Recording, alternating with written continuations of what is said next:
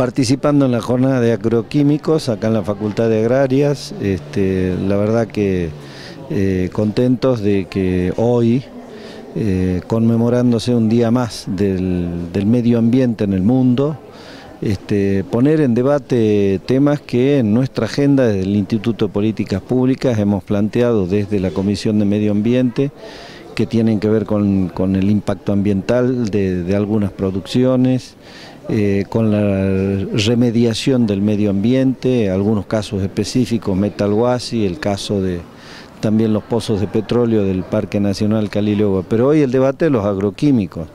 de cómo impactan, de la necesidad de que los gobiernos eh, jerarquicen el debate sobre esta temática,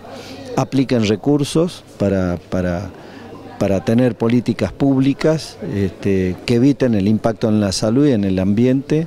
eh, la capacitación eh, a, los operadores del Estado, a los productores, pero fundamentalmente a los que manipulan y a los que manejan los agroquímicos. Entre otros temas, y la cuestión, como eh, recién se ha planteado, el tema del control y la policía, para evitar los daños a la salud, así que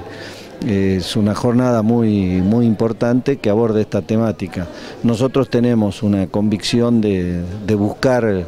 este, como objetivo la producción orgánica, que, es posible en la medida de cambios culturales, en la medida de,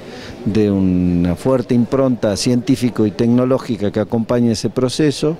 en, en muchas producciones. Así que, bueno, bienvenido a este debate hoy sobre el tema de agroquímicos.